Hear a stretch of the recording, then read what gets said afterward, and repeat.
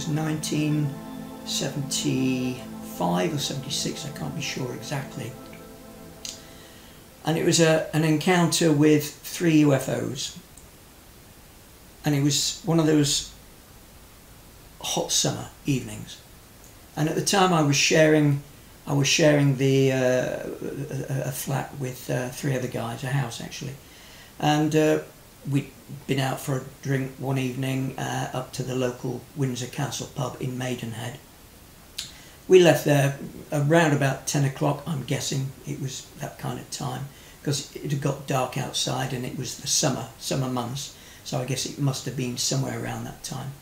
Uh, and we got, got back home, uh, went into the into the lounge there were some French windows which opened out into the garden, and uh, I immediately opened the, the windows because it was it was a beautiful evening, very very warm, and three guys started watching TV. One one of the fellows was my brother, my dear brother, and uh, I didn't want to watch TV. It was too uh, too too nice an evening.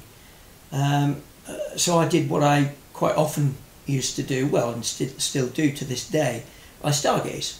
Um, it was too much of a, a, a, beautiful evening. It was too much of a, a an, an, experience not to uh, take advantage of. So I, I went outside and I lay down, and um, the sky wasn't pitch black, um, as we know around um, uh, around towns and cities. It, it can even even at the dead of night it can be ink, inky black.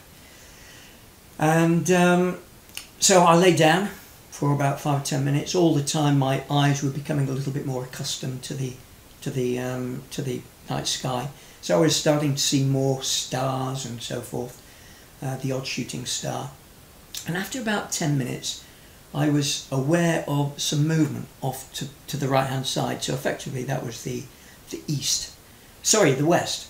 Um, and uh, I just disregarded for a couple of seconds. I didn't know what was going on. Then I gazed back again, and all of a sudden I was aware that there were three objects in the sky moving across. Now, when I saw this for the first time, my mate, my brain didn't compute. You don't normally see that kind of thing. Now, these objects were, I'm guessing, they're probably about the size of the moon. Uh, if you see the moon in, in, in an evening sky, they were silhouetted against the night sky. So they were just black discs against the inky, inky dark sky, if you like. Perhaps a little bit smaller than your, your little fingernail, uh, held at arm's length. Now there were three of these objects, no sound, no lights, uh, no noise, nothing. Now the, the middle object was going as like it was on rails almost. It was up going absolutely straight across the sky from west to east. And uh, there, there, there, were two others, uh, two, more, two more UFOs. So there was uh, one on either side of the, the, the, the one which was in the centre, and that was going, like I say, it was almost on track. It was absolutely straight as a die.